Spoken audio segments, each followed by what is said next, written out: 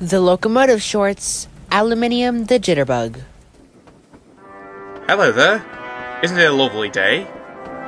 A little gray engine, aluminium falcon, trotted down some old narrow rails, delivering slate and bricks for small quaint houses down the line. I have to be there right away, and bang on time. But there was trouble. As he looked forward, the old iron bridge lay ahead. Oh, no. Oh dear. Aluminium did not fancy heights. He started to become anxious. Just got to make it across. That's all. Don't look down. Oh dear, I just did. Is it me or did the sun get hotter? He was so stressed out that his safety valve popped. Uh, I c- c- can't stop. My side rods, they're working against me. But they weren't. The water in his boiler surged forward. I must stop. I have to stop.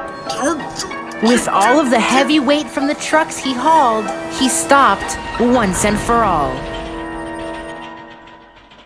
Uh, oh, goodness. Oh dear. I broke something because of my fear. All credits for the participants in this video are in the description. Thank you so much for watching this video. If you like this video, like, subscribe, and comment for more videos like these. If you'd also like, please share it with your friends. And I will see you all next time.